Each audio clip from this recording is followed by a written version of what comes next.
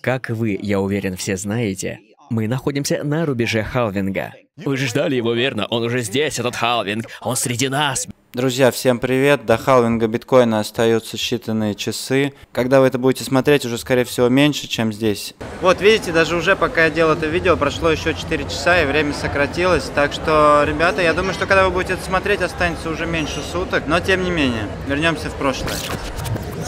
В общем, сегодня будет увлекательный эпизод, много всего интересного, так что... Поэтому давайте перейдем сразу к делу. Если вы не в курсе, что такое халвинг, супер короткий ликбез – и экскурс в историю биткоина, халвинг происходит примерно раз в 4 года, а точнее каждые 210 тысяч блоков. Это уполовинивание награды майнерам. То есть сеть биткоина работает таким образом, что ее майнят майнеры, соответственно, они, что они делают? Они тратят электричество на то, чтобы производить сложные вычисления, которые подтверждают подлинность транзакции. В общем, грубо говоря, э, этим майнерам раз в 4 года примерно, да, в 210 тысяч блоков, уполовинивают награду вдвое. То есть у нас на первом... Первая награда была 25 биткоинов за блок. Э, каждые 10 минут он в среднем находится. Потом второй халвинг у нас случился в 2016 году. Награда сократилась до 12,5 блок, биткоинов за блок. Соответственно, здесь она сократилась до 6.25 биткоинов за блок. И сейчас она у нас с вами сократится до 3. до 3.12.5, правильно? Ну, вроде бы да. В общем, такая природа кода биткоина, так, он так запрограммирован просто физически, что у него дефляционная структура. Обычный мир у нас, вот если перевернуть доллар и все остальное подвержено инфляции и падает, да, все время. А биткоин, соответственно, дефляционный, поэтому он растет. То есть его количество добываемое сокращается, а спрос на него не падает, то есть только увеличивается. Вот, поэтому вот так все просто, грубо говоря. И халвинг в долгую всегда отражает очень хорошие э, движения цены. Вот у нас был скачок на полторы тысячи процентов, потом еще в сумме на 8 тысяч процентов. После первого халвинга вот у нас был ну там примерно, да, 3 500 тысяч процентов после второго халвинга, после третьего халвинга там около 1000%. И сейчас непонятно, сколько будет. С одной стороны, скептики говорят, меньше будет, там 300-400, может. Ну, даже если 300-400, с учетом того, что мы переписали all-time high раньше времени, то есть мы никогда так рано не переписывали предыдущий максимум, мы всегда после халвинга его уже переписывали. Ну, вот здесь разве что было близко. Да, вот здесь это было позже, вот здесь тоже это было позже. Но, тем не менее, короче, теперь цене вырасти после халвинга, если от, на 300% изменить меня, это уже 1200. Короче, тут уже начинаются гадания на кофейной гуще и спекуляции, но в целом э, полет нормальный. Вот, но давайте с вами послушаем, знаете что лучше, что говорит профессор Андреас Антонополос по поводу того, что такое халвинг. Он, конечно, гораздо лучше меня вам это объяснит.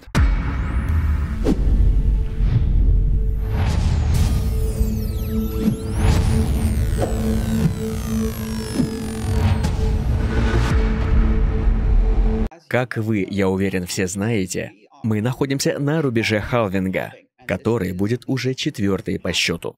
И перед тем, как я перейду к вопросам по данной теме, я хочу поговорить о халвинге с точки зрения своего опыта за последние, я думаю, почти 12 лет, в течение которых я был вовлечен в биткоин и мониторил и следил за ситуацией. Итак, халвинг — это запланированное на регулярной основе событие, происходящее каждые 210 тысяч блоков. И спустя каждые 210 тысяч блоков на блокчейне биткоина кое-что меняется, а конкретно субсидия за блок, являющаяся частью вознаграждения, которое получает майнер за майнинг блока. То есть субсидия за блок сокращается вдвое. В Genesis блоке, когда Сатоши запустил блокчейн, каждый новый блок включал 50 биткоинов, 50 заново выпущенных новеньких биткоинов, являющиеся частью вознаграждения. То есть майнер получал за каждый добытый блок 50 биткоинов. Спустя 210 тысяч блоков, то есть примерно 4 года, в 2012 произошел первый халвинг, и вознаграждение за блок сократилось до 25 биткоинов. Это был мой первый халвинг. Так что во время него я уже был в теме. Четыре года спустя, в 2016 на 420 блоке халвинг произошел снова а вознаграждение за блок сократилось с 25 до 12,5 биткоинов. После этого в 2020 вознаграждение сократилось до 6 с четвертью, а через 5 дней, 10 часов и 26 минут, он изменится с 6 с четвертью до 3,1 восьмой, или же 3.125 биткоинов.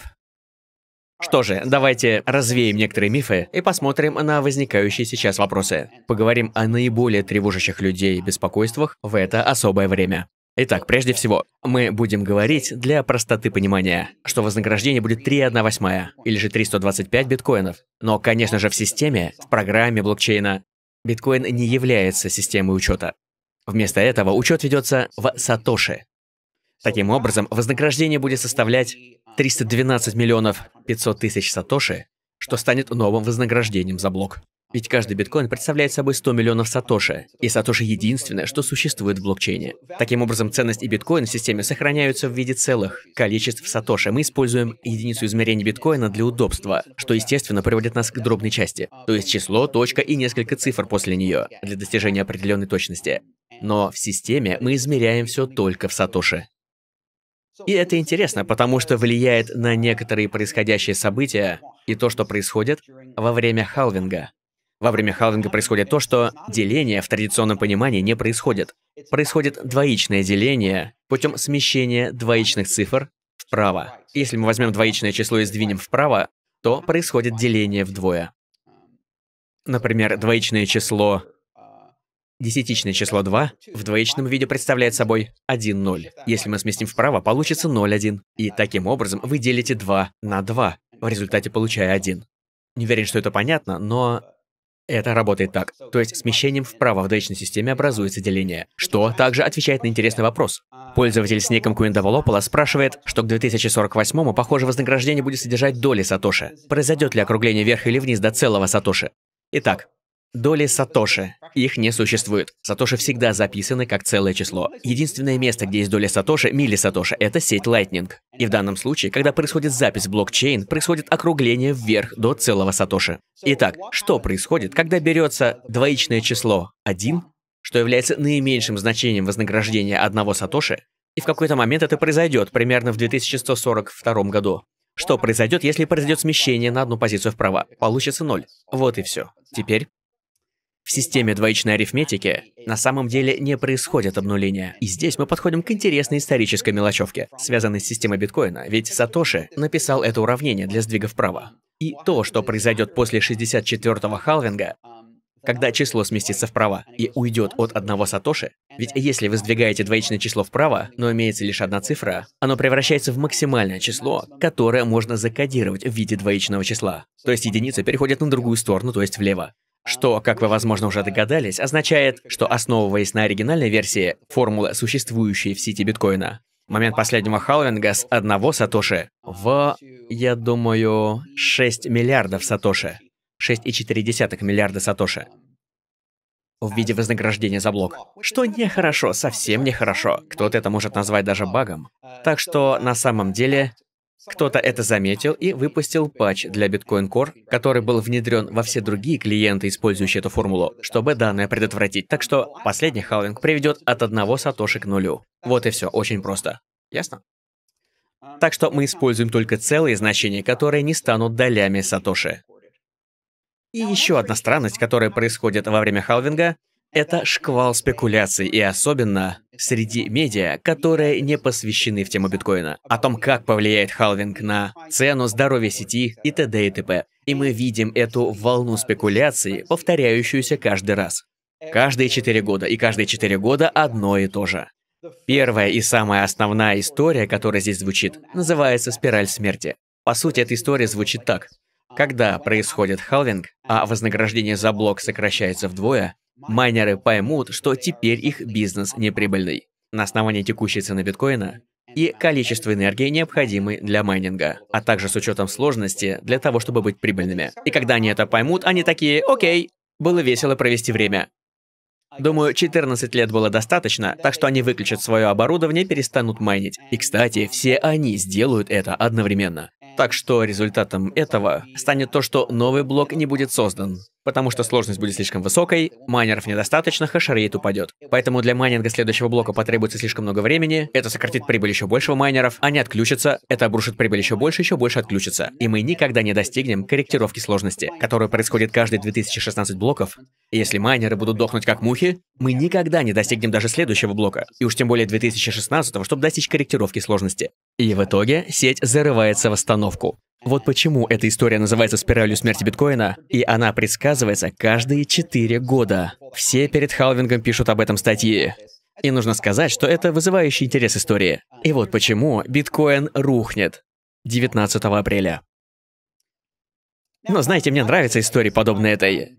На самом деле, у нас образовался похожий сценарий 8 апреля, во время происходящего солнечного затмения, которое было видно над территорией США. И эта история появилась на фоне другой истории, предсказанной в медиа, что, вероятно, из-за всех этих затмений произойдет конец света, причиной которого станет тень от Луны.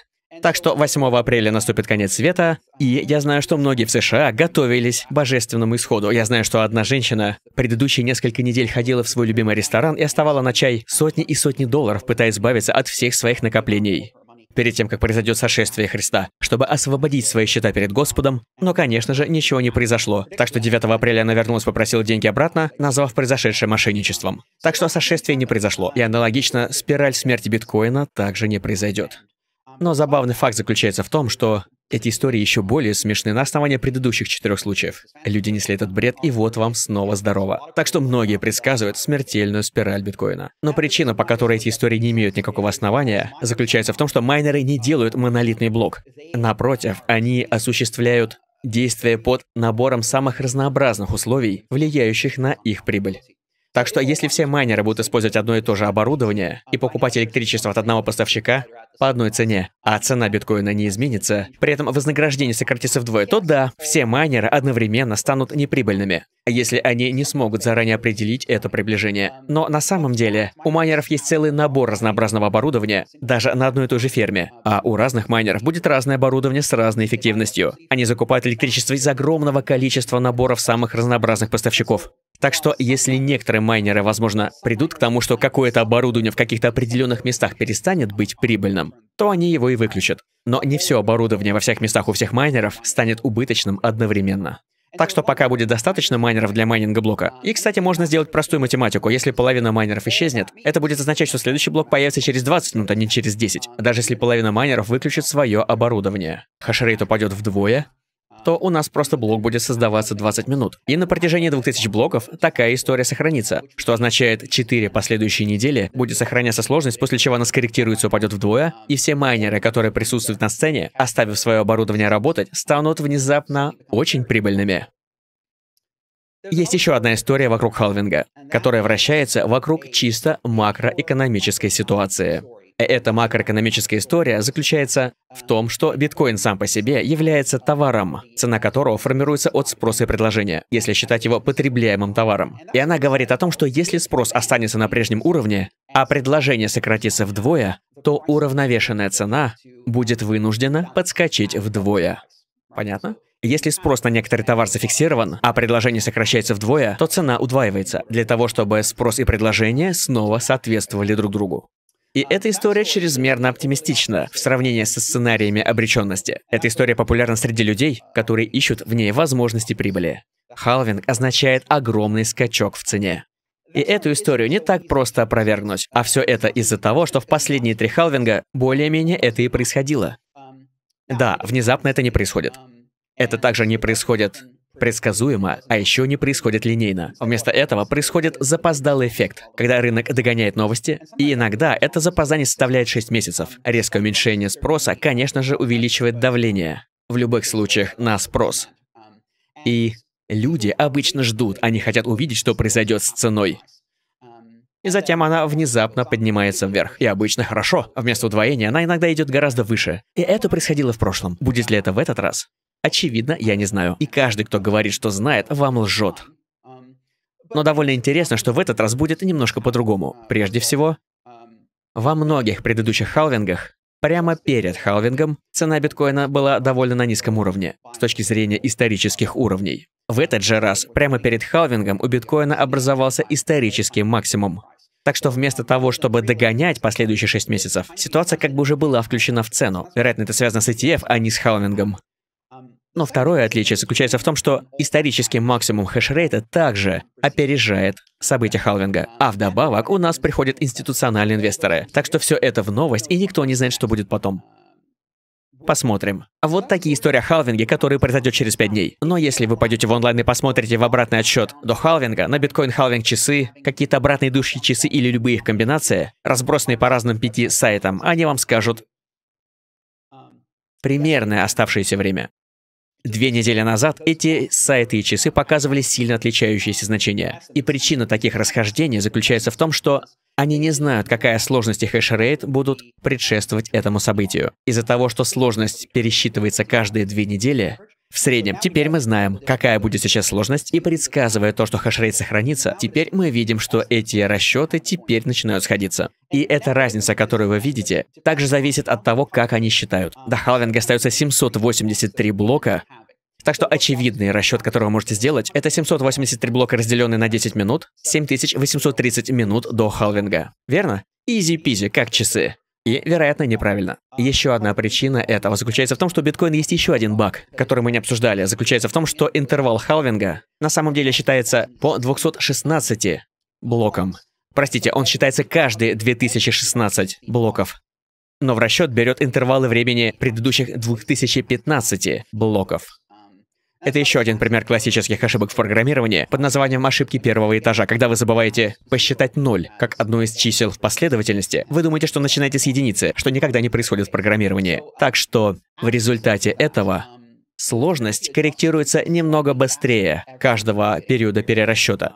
И если мы посмотрим на последний период перерасчета сложности, мы понимаем, что вместо 10 блоков он будет вместо 10 минут. Это произойдет ближе к 10 минутам, с 50 с чем-то секундами, с точки зрения реальной сложности. В общем, это была историческая информация о том, где мы сейчас и что будет впоследствии. И нам остается ждать, и через пять дней. У меня есть предсказание, что произойдет через пять дней. И ответ буквально заключается в том, что ничего.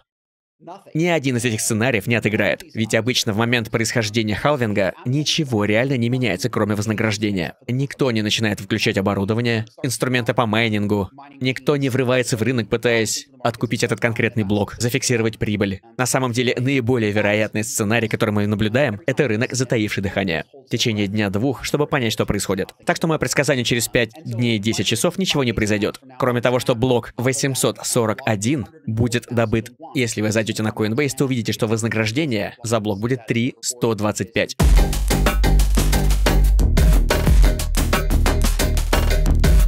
Вот, а я хочу вас заострить ваше внимание плюс еще на том, что у нас с вами MoneyFlow только-только выходит в зеленую зону, как и на прошлый халвинг, как и на позапрошлый, посмотрите, как и на позапозапрошлый. Посмотрите, что было все время в этих зонах. Это тоже подтверждало то, что мы имеем дело с долгосрочным бычьим движением. Даже если оно будет не такое резкое, а более плавное, это еще лучше будет. Так что в долгую здесь лонг, конечно, побеждает сейчас, ребята, несмотря на то, что мы можем скорректироваться и упасть куда-нибудь, куда-нибудь в этот канал обратно даже можем рухнуть. Но в целом похоже, что мы находим поддержку на сетке EMA Ribbon. Посмотрите, ультимативная сейчас поддержка для быков это 54 42, вот эта вся зона, это откуп жесткий. Если мы туда упадем, скорее всего, мы даже отобьемся вот отсюда, если продолжим падать, от 54 где-то. Потому что в бычьем рынке сетка MA Ribbon как поддержка отрабатывает себя. И посмотрите, RSI только-только тоже вышел в бычью зону. Он здесь может находиться долго, просто какие-то коррекции, и потом идем дальше наверх. Так что похоже, что в принципе мы уже, может быть, даже отбились от какой-нибудь, скажем, трехдневной сеточки EMA Ribbon. Посмотрите, трехдневный таймфрейм мы здесь как раз э, тестируем вот эти струнки. Двухдневный, если мы дальше уменьшаемся к дневному, вот мы здесь тоже удерживаем поддержку. Но на дневном таймфрейме, ребята, мы поддержку это уже не удерживаем. И вот тут надо будет посмотреть, то есть либо это ложный сейчас закол ниже поддержки, либо мы сейчас ее начнем бэктестить как сопротивление, как на 4 часах, наверное. И, под, и, и тогда, да, это дальше вниз. То есть тут надо смотреть уже 4-часовую сетку Ribbon. Вот, видите, мы ушли под нее и начали бэктестить ее как сопротивление. И посмотрите, как точно она отрабатывает. Вот на 4 часах от нее пока можно шортить, но как только мы ее пробьем и перевернем и закрепимся выше, то это будет лонг.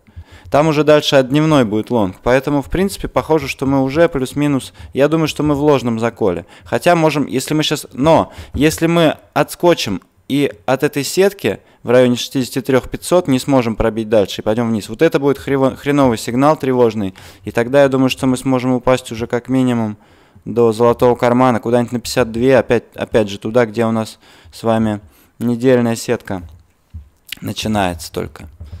Но это все э, мои догадки, ребята. На 50, да, 52 это вот вторая струнка сетки. Нормально, туда сходить все еще можем. Вот. Но, тем не менее, не надо полностью быть вне рынка сейчас, я считаю, потому что в, да, в глобальной картине все это вообще пойдет гораздо дальше. И, и к нам подсоединяется Тон Вейс, он, он расскажет сейчас про долгосрочный прогноз, про долгосрочную картину халвинга. Как он повлияет на цену. Давайте послушаем его. Ребята, к нам присоединяется Тон Вейс. Э, интересно послушать мнение Тона по поводу халвинга. Тон, э, привет. Это твой какой халвинг уже по счету? По-моему, третий для меня это уже. Я то, то, точно не помню, но я помню а, последний очень хорошо, а, потому что мы тоже делали лайвстрим и а, все хорошо провели. Ну, having это очень важный, важный день для биткоина, потому что все знают, что теперь будет меньше биткоинов произвращаться а, каждый день, и из-за этого цена должна будет подниматься, потому что больше и больше людей а, понимают, для чего а, биткоин им нужен. И сейчас давай выйду сразу на график. Uh-huh. И график, на который я буду смотреть в следующем году, это вот такой. Сегодня у нас будет halving – и вот тут показаны все остальные а, как бы цены а, битка, даже самые первые от 2010 года а, до самого первого хавинга в 2013 году. А, у нее этого, конечно, был гигантский процент. А вот остальные.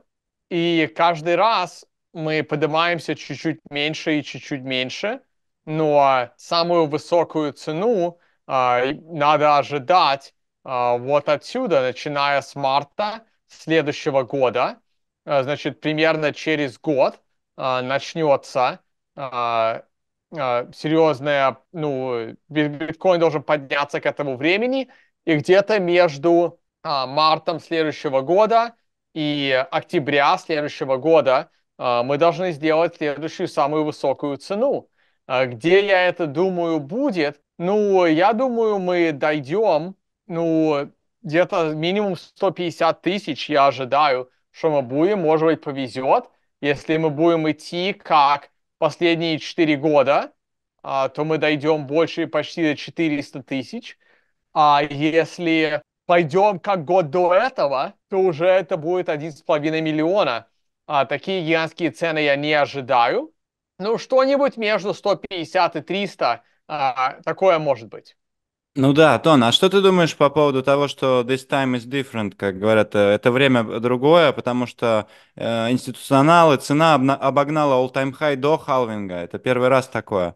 То есть это говорит нам о том, что сила в рынке, он пойдет еще выше, или наоборот, что это манипуляция в краткосроке. Ты как думаешь, что будет с ценой? Вот буквально там э, 2-3 месяца, как ты думаешь, нас ожидает коррекция какая-то более глубокая? Или сам ты А, что думаешь? Или нет, будем я, расти? я, я, я не думаю. А, для меня, когда я смотрю на вот такие графики, а, биток, а, ну, он все время поднимается до хавинга. Ну, хорошо, в этот раз мы на 2 доллара стали больше, чем э, то, что было два года назад.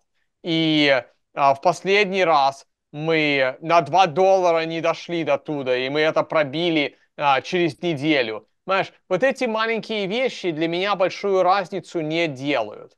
А, для меня не имеет значения, что мы пробили последнюю цену раньше. А, э, ничего нового я не ожидаю. Я не думаю, что что-то будет а, по-другому в этот раз. Я думаю, что это будет похожее. Мы можем еще чуть-чуть упасть. А, мы можем упасть где-то до 55. А, ниже 55 я сейчас не ожидаю. И вот это самое большое, что я думаю, мы можем упасть. А, вот, вот где-то до сюда, 55, до следующего mm-hmm. moving average. И я думаю, в июне мы уже начнем серьезно подниматься. а, и будем продолжать подниматься все лето. Или мы уже сейчас разворачиваемся и потихоньку поднимаемся, и потом через два месяца будем быстро подниматься. Или мы еще месяц-два можем падать, продолжать сидеть в 60, а, но в июне, в июле я ожидаю, что мы будем серьезно подниматься. Окей, спасибо, ребята. Это был Тон Вейс. Э, Тон, у тебя какие-то проходят мероприятия сейчас, которые ты хочешь, может сказать, в ближайшем А, будущем? ну, э, я буду делать а, мою стрим на моем канале. Она будет на английском, конечно, а, но она будет где-то от 8 до 12 часов. А, и мы начнем завтра, ну, по нью-йоркскому времени а, в 3 часа. Значит, в русскоговорящих, например, в России, это будет примерно 10-11 вечера, когда мы начнем делать стрим в Дубае. Я сейчас лечу в Дубай на следующей неделе. Мне надо заехать на Малдивс, чтобы поговорить там, где мы будем делать финансовую а, конференцию. А, Моя Unconfiscatable будет в сентябре в Лас-Вегасе, а, и потом, и потом Financial Summit. Сейчас я скину сзади. Ага. а, Дубае жесть сейчас вообще. Ты видел, что там происходит? Там а, все, и- и там все Я высохло. видел, да, но, понимаешь, я, я был в Дубае, когда дожди проходят, этот дождь был чуть-чуть больше, Э, э, ну, к субботе уже все будет сухо. А, Сегодня еще там дождь, Э, через 8 часов видно, что дождь пошел. Поэтому там очень быстро а, дожди уходят. Ну, хорошо. э, Просто я видел, как там самолеты садятся в воду. Это вообще, конечно, жесть. Ладно, тебе тогда удачно долететь. Так, сейчас, секунду. Так, что мы хотим? А, подожди, ты, ты говорил про свой стрим, точно. Это будет эпический стрим. э, Я тоже, он будет на английском канале, ребята. Все, кто понимает по-английски, обязательно посмотрите стрим. Я даже решил не проводить свой стрим, Тон, а чтобы прийти на твой, вот, чтобы не отнимать трафик. На Да, русском мы приходи потом на мой, проведем. приходи на мой. Сто- Да. Я ожидаю, 100 человек придет на мой стрим. В общем, э, ребята, обязательно переходите на канал Тона. Да, гля- гляньте, гляньте на мой твиттер, чтобы увидеть, что, как, это, как это было в прошлый раз.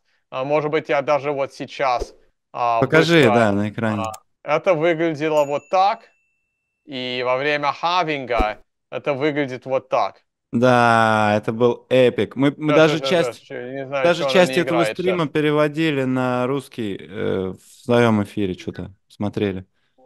Да.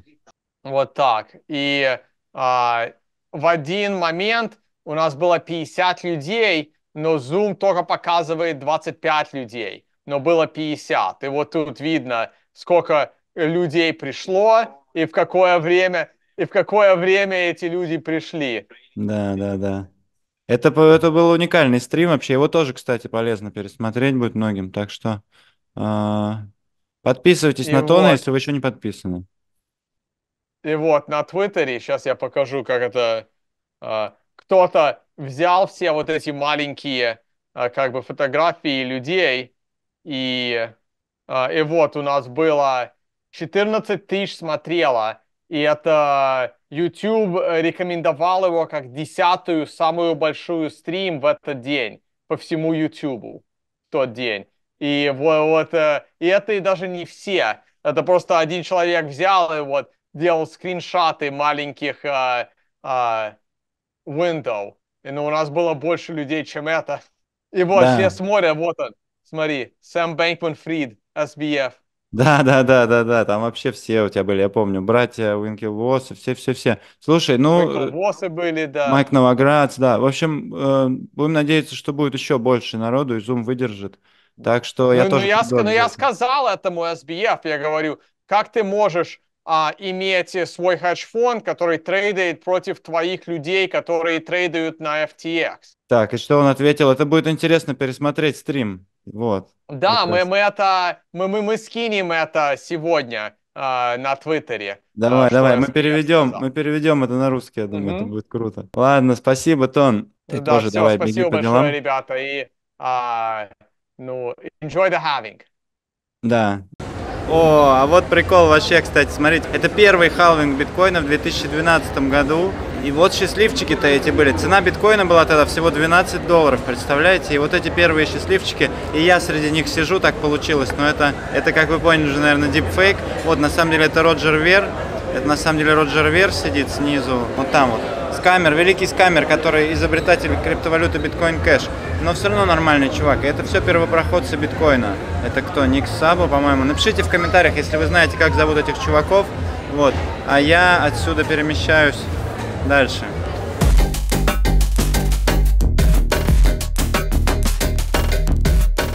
А в локальной картине что мы видим здесь? Ну, мы пришли к вершине канала, ретестим ее. Это я говорил ранее сегодня в видео. Подписывайтесь, кстати, обязательно еще в телегу, чтобы быть в курсе всех уведомлений. Вот, по ТРДР тут сильный откуп идет сейчас по, часа, по часовику и по четырехчасовику. Так что, по ходу, отскок есть, его не может не есть. Вот. Давайте послушаем, что трубят в новостях. Очень прикольные дебаты состоялись недавно Натали Брюнел и Питера Шифа, Золотого Жука. Что они думают про халвинг, про ETF и про все остальное. А потом вернемся.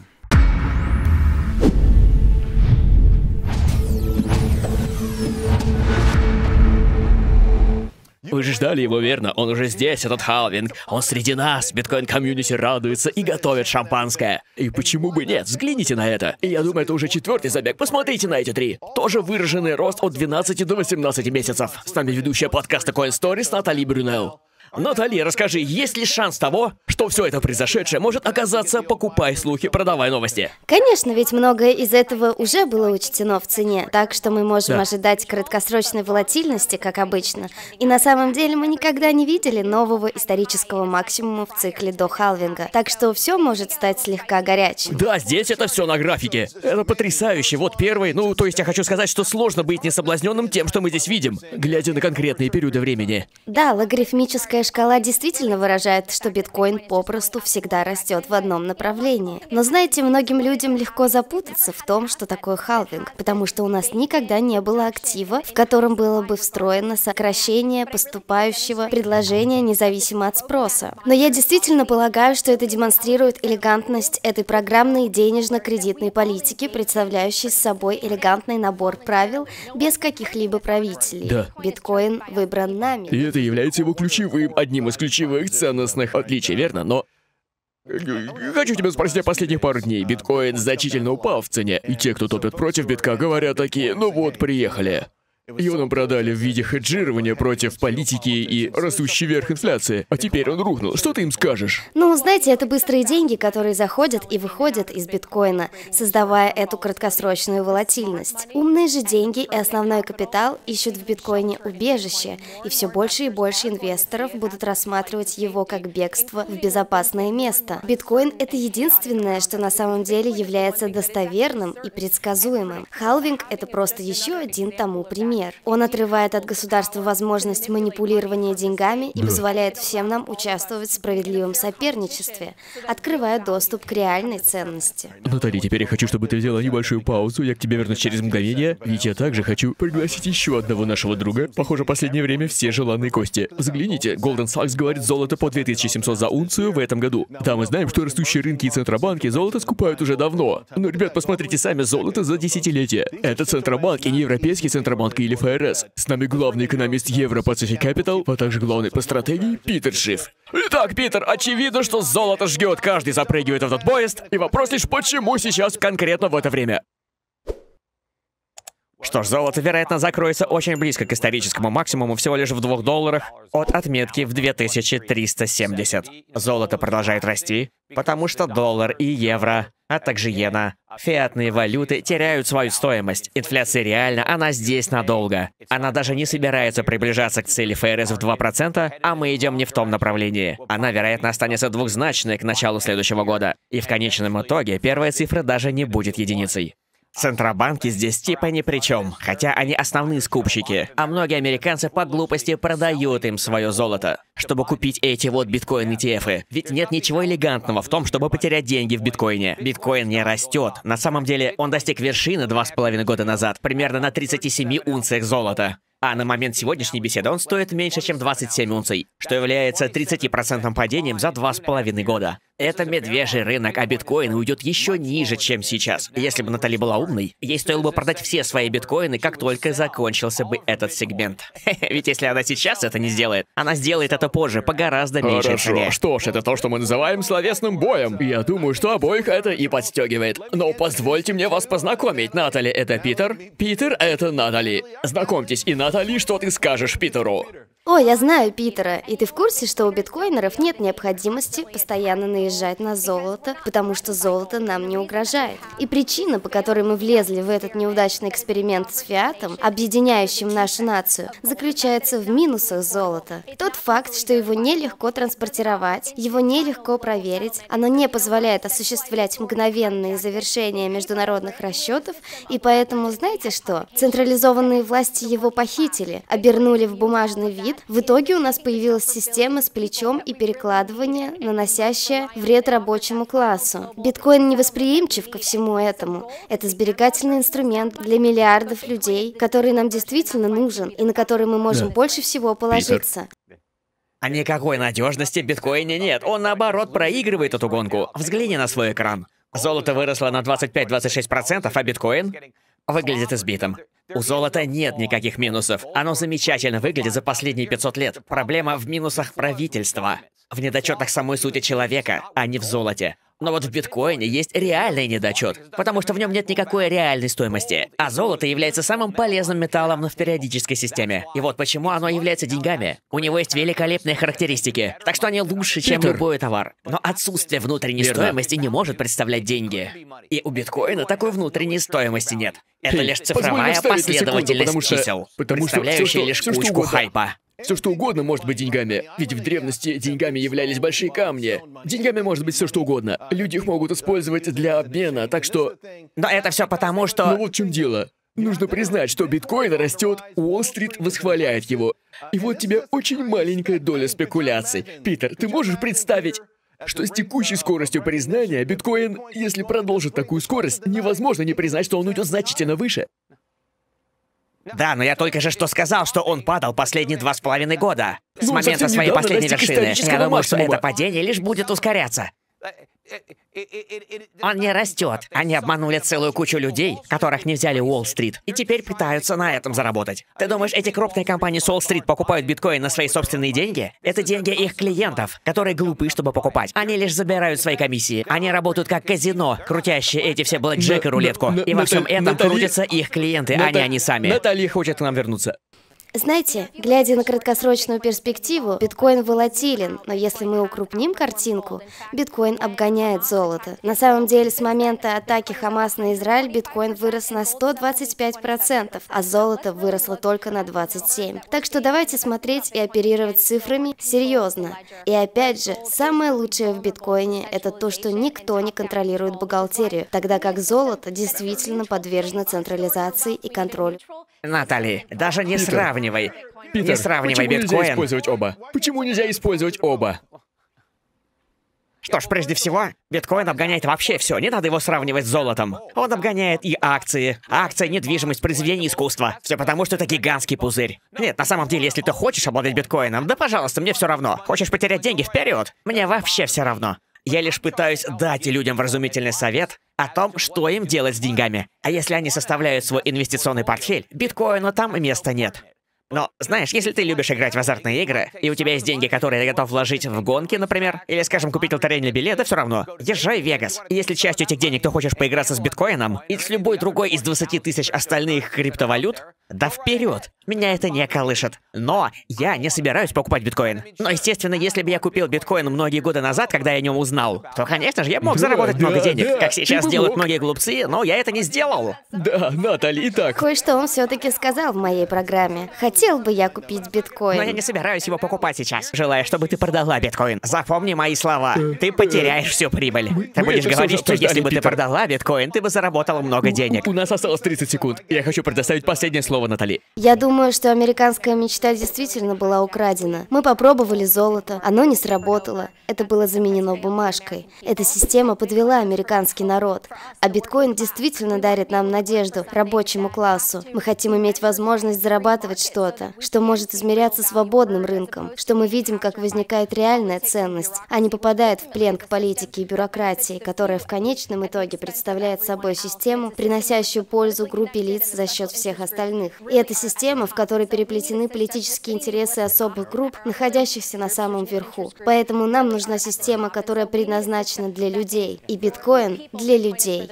Натали, большое спасибо. Питер, большое спасибо. Так что, друзья мои, вот такая вот штука халвинг. Э, ничего не понятно, точнее много что понятно. Но э, понятно, что с ценой ничего не произойдет в моменте не должно произойти, как сказал мистер Андреас Антонополус, потому что эта штука чисто техническая. Происходит, как мы с вами узнали, раз в 210 тысяч блоков. Но в долгую, как мы видим, цена после этого очень даже неплохо отрастает. И в принципе халвинг приходится на бычью фазу, либо на, на, на начало бычьей фазы, как мы видим с вами. А вообще у биткоина нет медвежьих фаз, это просто небольшие коррекции, которые тоже, кстати, уменьшаются с каждым разом от 85 до уже 70 с чем-то процентов. Поэтому в долгую это все, ребята, даже не тузамун, а просто стейблкоин, потому что вот оно, где настоящее сохранение ценности происходит, как мы с вами видим. В hard assets, в difficult assets, в трудных деньгах, в труднодобываемых деньгах, вот, бит... которыми является биткоин. А у меня на этом все. Спасибо, что смотрите канал Crypto Commons. Всем профитролей, удачи в торговле, успехов и